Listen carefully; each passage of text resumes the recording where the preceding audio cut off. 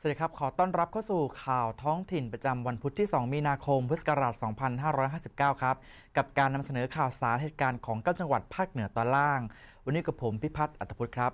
ผู้ตรวจราชการสำนักนายกรัฐมนตรีเขต 18 พร้อมด้วยผู้ตรวจราชการหลายกระทรวง ร่วมตรวจราชการแบบบูรณาการที่จังหวัดพิจิตร พันตำรวจโทเทนรวัตรวิเชียนสวรรค์ผู้ตรวจราชการ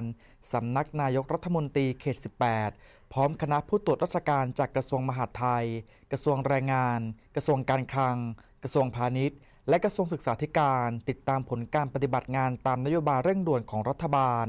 ณห้องปฏิบัติการจังหวัดพิจิตรโดยมีนางฉัดพรรับดุษฎีผู้ว่าราชการจังหวัดพิจิตรพร้อมด้วยหัวหน้าส่วนราชการที่เกี่ยวข้องร่วมประชุมชี้แจงรายละเอียด ผลการดำเนินงานตามนโยบายการกำจัดขยะมูลฝอย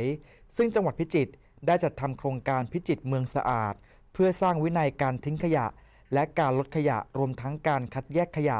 ส่งเสริมการคัดแยกขยะในทั้งครัวเรือนและชุมชน ตลอดจนการจัดตั้งธนาคารขยะทั้ง 12 อำเภอ รวม 120 แห่ง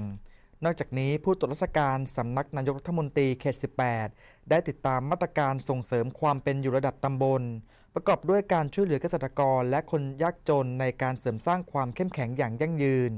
และการส่งเสริมความเป็นอยู่ระดับตำบลตำบลละ 5 ล้านบาท ซึ่งผลดำเนินงานในภาพรวมจังหวัดพิจิตรสามารถเบิกจ่ายงบประมาณ จังหวัดเป็นลำดับที่ 1 ของประเทศ โอกาสนี้ยังได้ชื่นชมโครงการตัวอย่าง หรือ best practice ของอำเภอเมืองพิจิตรตามมาตรการกระตุ้นเศรษฐกิจได้แก่ โครงการกำจัดผักตบชวา และการปลูกผักกลางมุ้งในทุกตำบลครับ คิดในเรื่องของการดำเนินการบริหารจัดการที่ดีมากนะครับ ในส่วนของโครงการต่างๆ ที่จะกระตุ้นเศรษฐกิจ ก็ดำเนินการอย่างต่อเนื่อง มีการใช้งบประมาณอยู่ในเกณฑ์ที่น่าพอใจ ก็คงเป็นไปตามเป้าของรัฐบาล รวมทั้งได้รับทราบว่า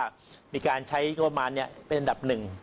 ตามเป้าหมายทุกอย่างก็เป็นที่น่าพอใจทุกอย่าง มีการคิดในเรื่องของ best practice ในโครงการต่างๆนะครับ ในเรื่องของการกำจัดผักตบชวาก็ดี การจัดผักกลางมุ้งก็ดีนะครับ ซึ่งสิ่งที่ทำต่อไปก็คือว่าเราต้องหาตลาดและความต่อเนื่องของโครงการพอคิดโครงการแล้วเนี่ยองค์กรต่างๆมีอยู่แล้ว ก็ควรจะทำโครงการให้ต่อเนื่องยั่งยืนทั่วไปนะครับเพราะว่า